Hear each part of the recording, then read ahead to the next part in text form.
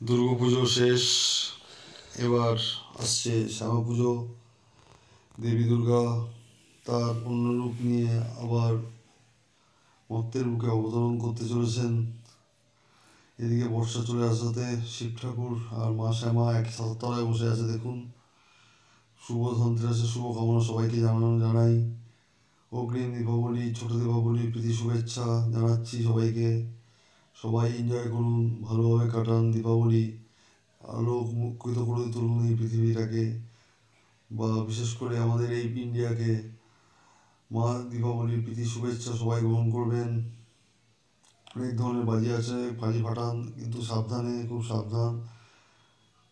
দেবী, লক্ষ্মী, সিদ্ধিদাতা, গণেশ এবং মা সরস্বতী বিচরণ করছেন। ও অনেক মিষ্টি রয়েছে, সাবধান দেখে খাবেন। বেশি খেলে কিন্তু পেট ছুটবে। শুভ দীপাবলির প্রীতি, শুভেচ্ছা গ্রহণ করুন।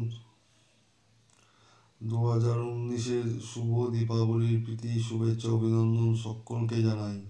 Hello friends if you feel like my video then please subscribe my channel and click the bell icon thank you